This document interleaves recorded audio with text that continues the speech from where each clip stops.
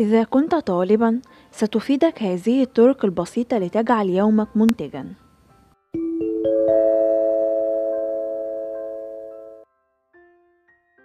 عادة ما يقال أن بداية الشيء دليل على نهايته، وأعتقد أننا نتبع هذه النظرية كثيرًا حين نستيقظ على خبر سيء على سبيل المثال، فإننا نظل منزعجين لباقي اليوم.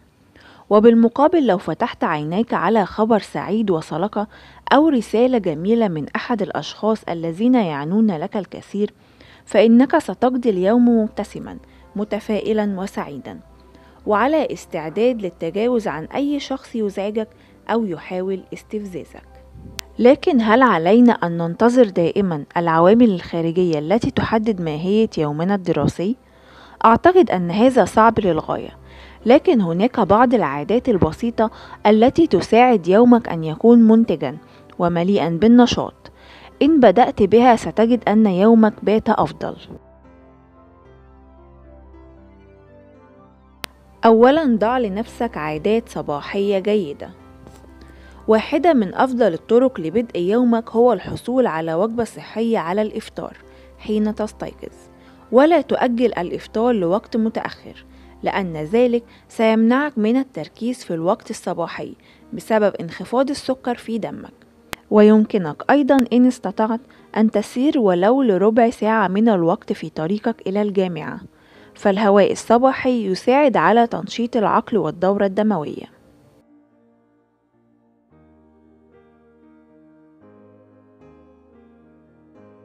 ثانيا تحديد الأولويات.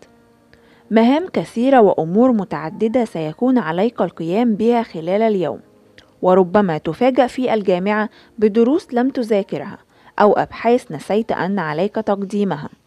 فتجد نفسك تائها وغارقا في بحر من المهام ولا تعرف كيف تخرج منه. البداية تكون من الصباح.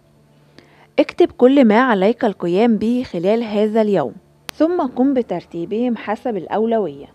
والترتيب الزمني المحاضرات والدروس وغيرها. يوجد تطبيق اسمه خطة الأسبوع يساعدك في تحديد أولوياتك في كل أسبوع من خلال إدخال كل ما عليك القيام به. مما يساعد على خفض مستوى التوتر لديك وارتفاع مستوى الإنتاجية في العمل.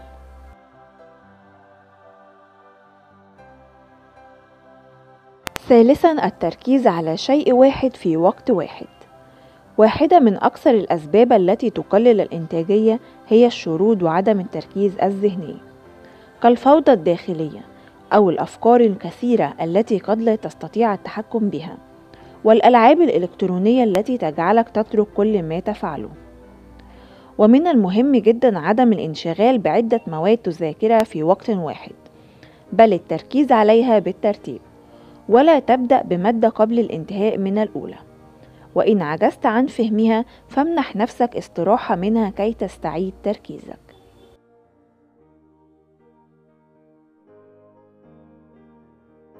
رابعا أخذ فواصل.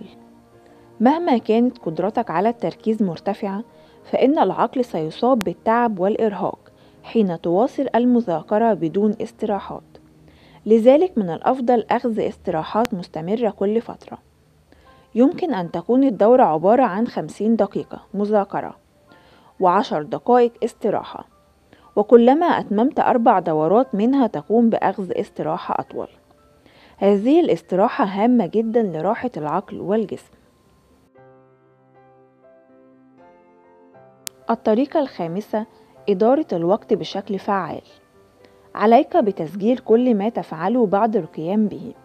ثم النظر في نهاية اليوم إلى الوقت الذي كان منتجا لديك والوقت الضائع.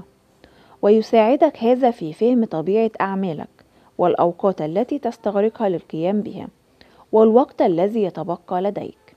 وهناك الطريقة الأسهل. من خلال بعض التطبيقات التي تنبهك عندما يكون لديك وقت فراغ وعندما تكون منتجا. ويعطيك خطا بيانيا بهذا. مما يساعدك على أن تقوم ببعض الأعمال خلال أوقات الفراغ مثل قراءة الأخبار والاستماع إلى الملاحظات. الأمور التي لا تحتاج إلى تركيز منك. أما الطريقة السادسة والأخيرة كافئ نفسك وراجع ما فعلت. لن تكون كل الأيام متساوية في الإنتاج ولن تحصد دائما نتائج مرتفعة. لكن مهما فعلت من الجميل أن تكافئ نفسك في نهاية اليوم وتحتفل بما أنجزته فهذا سيرفع مستوى التحفيز لديك ويساعدك على زيادة الحماس لليوم التالي. فنظام المكافأة حافز لا يصدق. بالإضافة يجب عليك مراجعة ما فعلت وما لم تفعل كي تعيد برمجة يومك وتحصل على نتائج أفضل. وتعطي عقلك الوقت لإزالة التوتر والتخلص من الضغوطات. وأخيرا فإن بعض الأمور تكون بسيطة لدرجة أننا لا نفكر أنها قد تغير شيئا ما في حياتنا لكن العادات الصغيرة تصنع نجاحات كبيرة دائما.